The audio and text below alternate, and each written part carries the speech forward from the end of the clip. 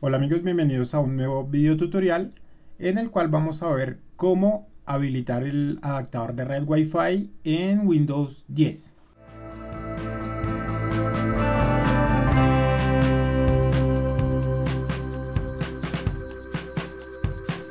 Bien, antes de comenzar voy a mostrarles acá, estoy conectado a red Ethernet, es decir, estoy conectado por cable. Si doy clic, no me aparecen las redes Wi-Fi. Esto es porque tengo deshabilitado el adaptador de red Wi-Fi. Me imagino que ustedes también. Entonces vamos a dar clic derecho, abrir configuraciones de Internet, cambiar opciones de adaptador y aquí no tenemos eh, el adaptador de red.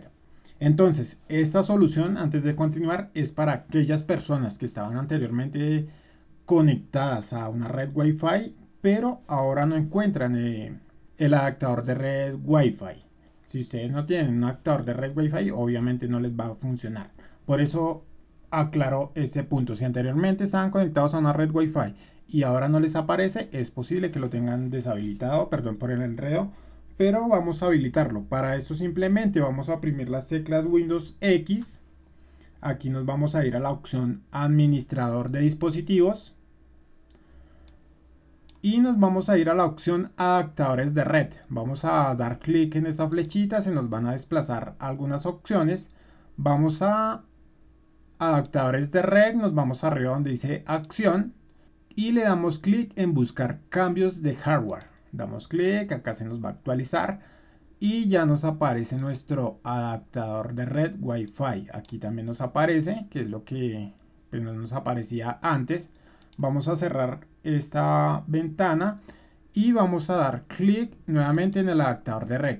Listo, aquí ya me aparece una, una red, una red Wi-Fi, pero en ocasiones aún con esta configuración no les va a funcionar. Entonces aquí también les debe aparecer la opción Wi-Fi una vez hecho estos pasos. Entonces vamos a dar clic en red Wi-Fi y es posible que no les aparezca porque lo tengan desactivado aquí. Entonces, si ustedes les dan clic en esta opción, pues no les va a aparecer. Simplemente lo tienen que activar y conectarse a la red que desean. En este caso, esta y le dan conectar.